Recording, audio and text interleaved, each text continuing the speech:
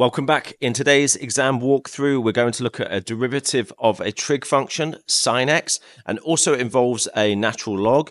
Uh, it looks like towards the end of the question, we're going to have to substitute a value in. That value is in radians. And so um, it's worth eight marks. We should be able to do this question in eight minutes or less. Okay, let's move down. Start the clock. Let f of x equal sine 3x. g of x is natural log.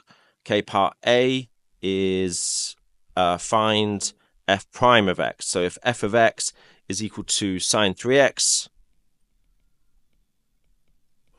then the derivative of this would, well, sine turns into cosine, so this would become cos. 3x stays exactly the same. We don't do anything with that. See my other video on de derivative of sine function. But what we must do is times through by the derivative of this bracket here. And the derivative of that bracket is 3.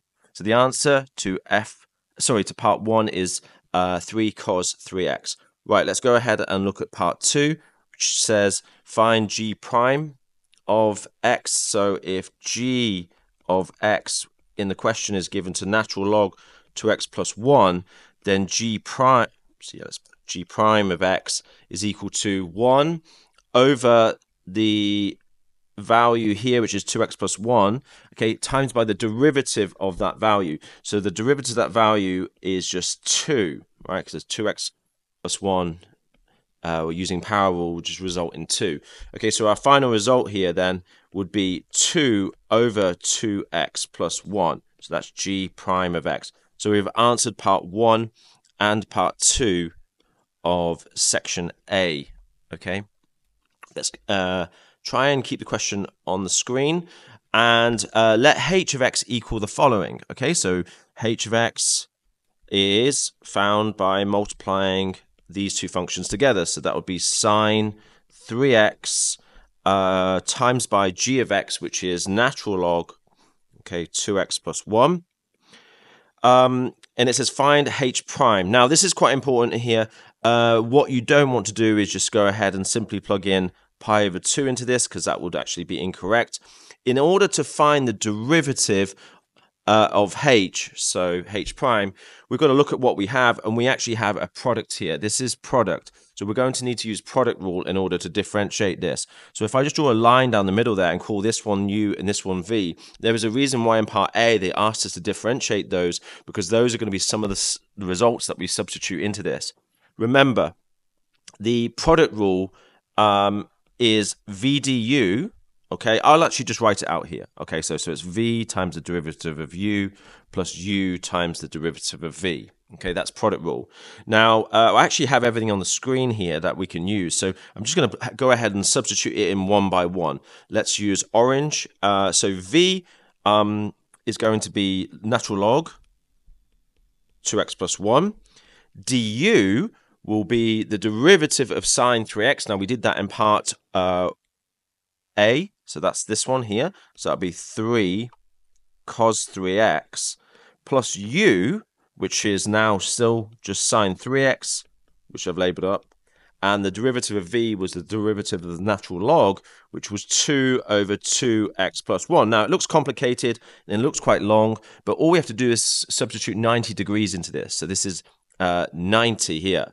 Now, this is a non-calculator question, so we just need to make sure we don't mess this up. We have to plug 90 degrees into this. What do we get? Well, I think it's important here that I just remind you um, when we did unit circle, now you could use unit circle or you could uh, draw out the graphs. Um, I'm going to do this quite quick because we're under exam um, time, like constrict, uh, restrictions. So horizontally is cos and vertically is sine. So if we're looking at 90 degrees, remember we start from here and we will rotate always anti-clockwise if the angle is positive to here. So we are now here. Okay, so that's quite important. So look horizontally. Horizontally, we are at the origin. So that means that cos will be zero. And vertically, we are at one if this is a unit circle. So sine is 1. So that's important when I substitute all of this in now. So h prime of 90 degrees, pi over 2, is natural log. Uh, pi over 2 times, that's just pi plus 1, right, times 3. So I've done this bit, I've done this bit. Now we've got cos of 3. So now we've got cos of uh, 3 pi over 2. So 3 pi over 2. Now that is 270 degrees. Remember, it's 90 times uh, 90 plus 90 plus 90.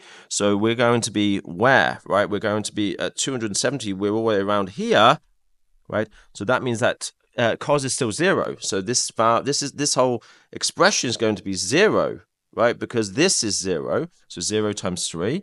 So now we have this last little bit to work on over to the right here plus sine, sine of uh, 270. Okay, well, sine of 270, if we look over here again, we're back round here at 270. So sine is negative 1. So this whole expression is going to be negative 1. And then we have times 2 over uh, 2 times, so that will be pi plus 1.